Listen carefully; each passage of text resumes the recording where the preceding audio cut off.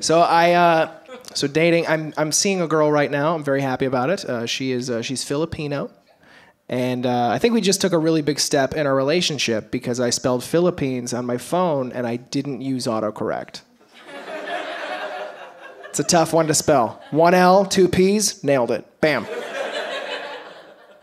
It's so weird because that the the the language uh, that they speak is uh, Tagalog, and uh, hopefully I said that right. I'm very white, and people typically pronounce it tag along like the Girl Scout cookies, and it is not that.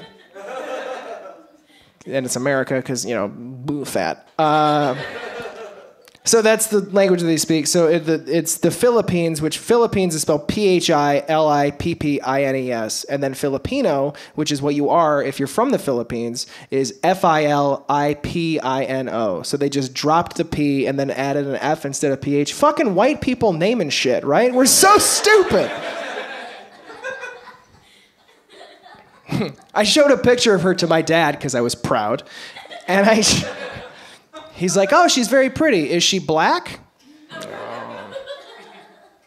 No, dad.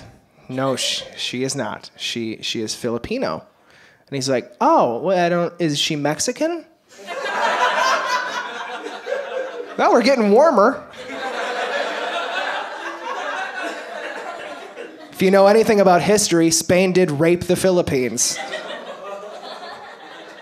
It's a banana, guys, that happened, okay? That is a fucking history joke. I was like, no, Filipino, it means Asian. And he's like, oh, okay. Do I have to take my shoes off if I go to her place? like, that's not even racism at this point. It's just stupidity, it's just ignorance.